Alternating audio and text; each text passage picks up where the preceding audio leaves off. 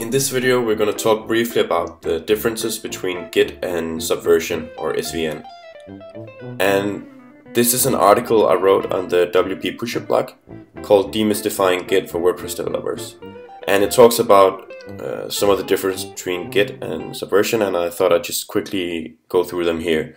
If you want to read the article you can find it on uh, blog.wppusher.com.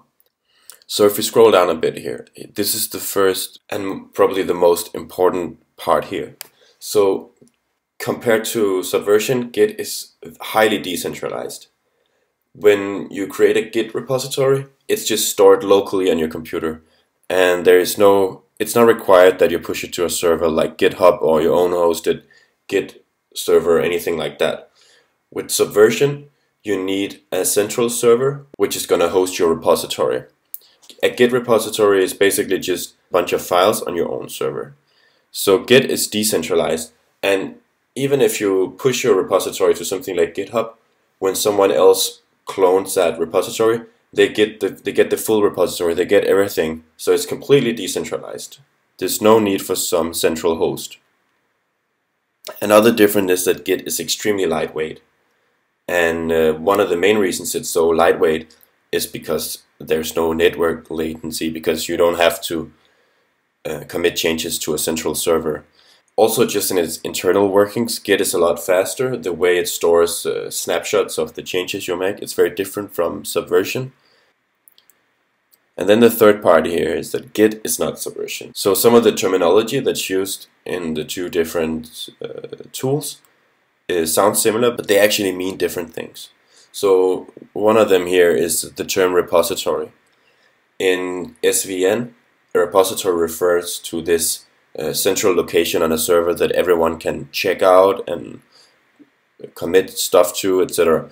Whereas in Git, it's just a hidden folder on your local computer.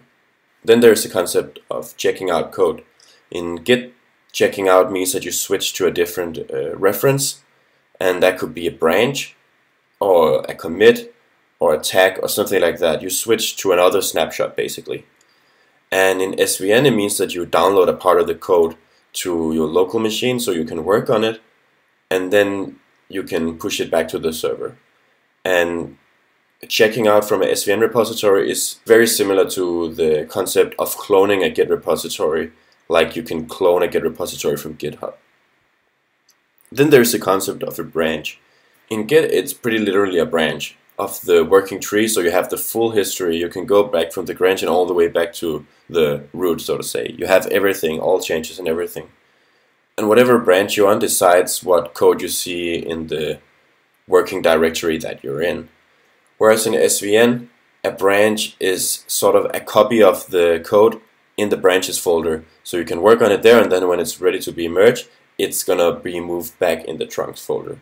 So the concepts there are a little different. But all in all, I think if you know Subversion already, it's going to be pretty easy for you to learn Git. And that's it for this video. Thanks for watching.